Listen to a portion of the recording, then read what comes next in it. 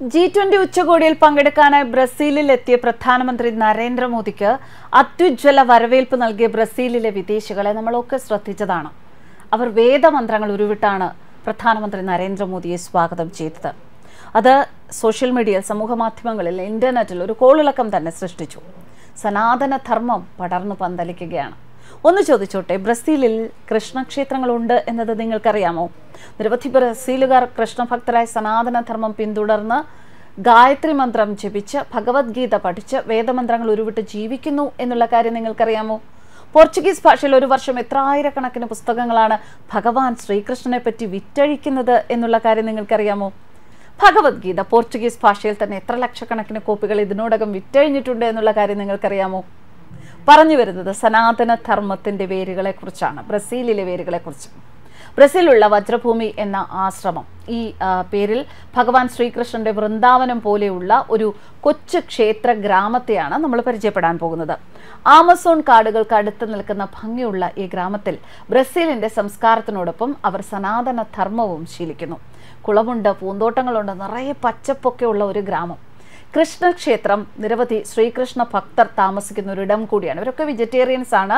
സനാതന ധർമ്മവും ആർഷഭാരത പാരമ്പര്യവും പ്രകാരം ഇവർ അവിടെയുള്ള എല്ലാ പക്ഷിമൃഗാദികളെയും സംരക്ഷിക്കുന്നു. ഇവിടെ കുളത്തിലുള്ള മീനുകൾക്കും താറാവുകൾക്കും ചുറ്റുമുള്ള കാടിലെ കാട്ടിലെ മൃഗങ്ങൾക്കും ഒക്കെ സന്തോഷത്തോടെ ജീവിക്കാൻ കാരണം സനാതന ധർമ്മത്തിന്റെ പാരമ്പര്യമാണ്. ആ പാരമ്പര്യത്തിൽ ഇവരെ ഇവർ ആരെയും വേദനിപ്പിക്കാൻ അനുവദിക്കുന്നില്ല എന്ന ഒരു സത്യമാണ്. വജ്രഭൂമിയുടെ കഥ പറയാൻ തുടങ്ങണമെങ്കിൽ സെർജിയോയെ പരിചയപ്പെടുത്തണം.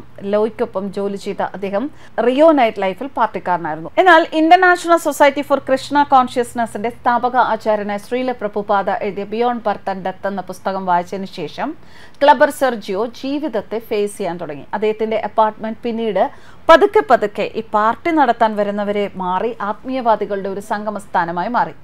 എന്നാൽ ഇത്തവണ ഇപ്പോൾ അദ്ദേഹത്തിന്റെ ദിവസം പഴയതുപോലെയല്ല. ധ്യാനത്തിനായി അദ്ദേഹം പുലർച്ചെ ഉണരുന്നു ധ്യാനം നടത്തുന്നു. ആയിരത്തി തൊള്ളായിരത്തി എഴുപത്തി സെർജിയോ ന്യൂയോർക്കിലെ ഹരേകൃഷ്ണ ഫെസ്റ്റിവലിന് പോയി. അവിടെ അദ്ദേഹം ശ്രീല പ്രഭുപാതയെ നേരിട്ട് കണ്ടു. അദ്ദേഹത്തിന് ദീക്ഷയും പുതിയ പേരും ലഭിച്ചു. ശത്രുകോടി വിനാശന ദാസ അതായത് ശത്രു അവന്റെ സുഹൃത്തുക്കൾക്ക്. ശത്രു ഇപ്പോൾ ആത്മീയതയിൽ മാത്രം അർപ്പിക്കാൻ ആഗ്രഹിച്ച് യജമാന്റെ അനുഗ്രഹത്തോടെ റിയോഡി ജനറോയിൽ നിന്ന് രണ്ട് മണിക്കൂർ അകലെയുള്ള ടെറസോ പോലീസിലെ ഒരു സ്ഥലത്തേക്ക് തന്റെ അപ്പാർട്ട്മെന്റും കാറും ഒക്കെ മാറ്റി അവിടെ പുതുതായി ഒരു ജീവിതം ആരംഭിച്ചു. തന്റെ ആശ്രമ ഭൂമിക്ക് ഒരു പേര് അദ്ദേഹം ശ്രീല പ്രഭുപാദയോട് ചോദിച്ചു. ശ്രീല പ്രഭുപാദ കണ്ണുകളടച്ച് വജ്രഭൂമി എന്ന് ഉച്ചരിച്ചു. പുതിയ വജ്രഭൂമി പല കമ്മ്യൂണിറ്റികൾക്കും പുതിയത് എന്ന് തുടങ്ങുന്ന പേരുകൾ ഉള്ളതിനാൽ സെർജിയോ ശ്രീല പ്രഭുപാദയോട് ചോദിച്ചു. ശ്രീല പ്രഭുപാദ പറഞ്ഞു ഇല്ല വെറും വജ്രഭൂമി. അന്നു മുതൽ തന്റെ ജീവിതത്തിന്റെ പ്രവർത്തനമായി ദൈവത്തിനുള്ള തന്റെ വഴിപാടായി ആ സമൂഹത്തിന്റെ സ്ഥാപനത്തിനും വികസനത്തിനുമൊക്കെ സ്വയം സമർപ്പിക്കുകയായിരുന്നു സെർജിയോ. വജ്രഭൂമിയുടെ തുടക്കം തീർച്ചയായും വളരെ ലളിതമായിരുന്നു. കാലത്ത് മനോഹരമായ വിശ്രമമുറി പൂർണമായും ജനാ ജനാലകളുള്ള അഷ്ടഭുജാകൃതിയിലുള്ള മനോഹരമായ ഒരു തടാകം കൂടാതെ ക്ഷേത്രം ഇഷ്ടികകളും മുളകളും കൊണ്ട് ഒരു മിതമായ നിർമ്മാണമായിരുന്നു ആദ്യം. ബ്രസീലിൽ പറഞ്ഞു വരുമ്പോൾ ഈ ഒരു ക്ഷേത്രം മാത്രമല്ല ഇനിയും ഒരുപാട് ക്ഷേത്രങ്ങളുണ്ട്. ബ്രസീലിന്റെ പല ഭാഗത്തും ഒരുപാട് ആളുകൾ ഭഗവാൻ ശ്രീകൃഷ്ണന്റെ ഭക്തരായി ജീവിക്കുന്നു.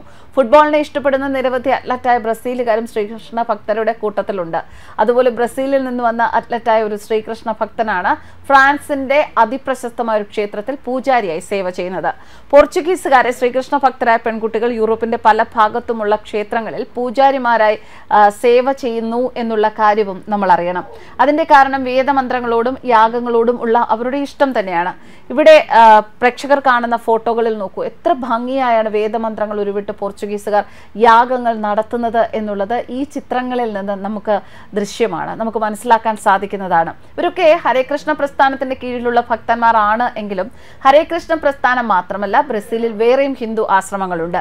നമ്മുടെ പ്രധാന സേവകനായ നരേന്ദ്രമോദി വേദമന്ത്രങ്ങൾ ഉരുവിട്ട് വരവേറ്റത് ഹരേകൃഷ്ണ പ്രസ്ഥാനത്തിലെ മറ്റൊരു ആശ്രമത്തിലെ കൃഷ്ണഭക്തരായ ബ്രസീലിയൻ വിദേശികളാണ്. പക്ഷെ ലോകം മുഴുവൻ കൃഷ്ണഭക്തി ഇത്രയധികം വ്യാപിപ്പിക്കുന്നതിൽ ഹരേകൃഷ്ണ പ്രസ്ഥാനം തന്നെയാണ് ഏറ്റവും വലിയ പങ്ക് വഹിച്ചത്. ഇതിന്റെ എല്ലാം ക്രെഡിറ്റ് ഹരികൃഷ്ണ പ്രസ്ഥാനം സ്ഥാപിച്ച മഹാനായ ബംഗാളി സന്യാസി ശ്രീല പ്രഭുപാദയ്ക്കാണ്. അദ്ദേഹം ഭഗവാൻ കൃഷ്ണനെ പറ്റിയും വേദങ്ങളെ പറ്റിയും വളരെ സിമ്പിളായി രചിച്ച പുസ്തകങ്ങളാണ് ബ്രസീലുകാരെ ശ്രീകൃഷ്ണനിലേക്ക് അടുപ്പിച്ചത്. ആർഷഭാരത സംസ്കാരം ബ്രസീലിൽ പ്രചരിപ്പിക്കാനിടയായത്. പ്രഭുപാതയെ ഇസ്കോൺ വിശ്വാസികൾ ഗുരുവും ആധ്യാത്മിക നേതാവുമായി കരുതി പോരുന്നു. ഹിന്ദു പുരാണങ്ങളായ ഭഗവത്ഗീതയിലെയും ഭാഗവതത്തിലെയും തത്വങ്ങളാണ് ഇതിന്റെ അടിസ്ഥാന വിശ്വാസം.